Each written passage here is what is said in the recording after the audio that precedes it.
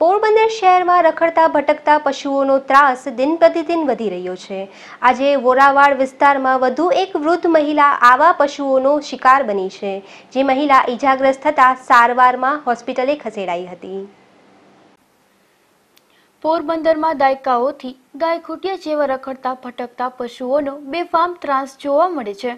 શહેરમાં રખડતા, ભટકતા પશુઓ કરતા માલિકીના પશુઓ હોય અને બેદરકાર માલિકો તેને દિવસ દરમિયાન છૂટા મૂકી દેતા હોય, તેવા પશુઓનું પ્રમાણ વધી રહ્યું છે. આવા પશુઓમાં ખાસ કરીને આખલાઓ જ્યારે યુદ્ધે ચડે છે, ત્યારે શહેરની શાંતિ ટહળાઈ જાય છે. ભૂતકાળમાં પણ અનેક લોકો ઈજાગ્રસ્ત થયા છે. તો કેટલાક લોકોને આવા આખલા જેવા પશુઓને કારણે જીવ ગુમાવવાનો પણ વારો આવ્યો છે.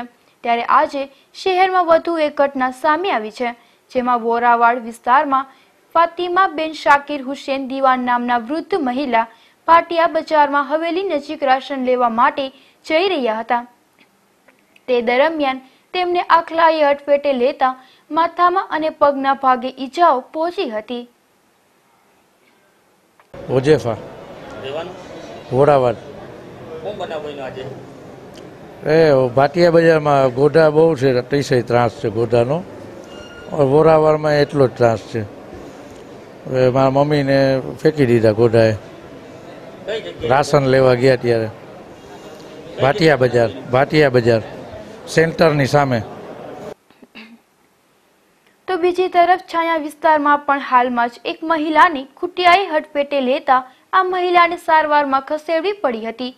પાલિકા દ્વારા વહેલી તકે આવા રખડતા, ભટકતા પશુઓના પ્રશ્નોમાંથી શહેરીજનોને મુક્તિ અપાવવામાં આવે તેવી માંગ ઉઠી છે. વિપુ રાઠોડ, ગુજરાત ન્યૂઝ પોરબંદર.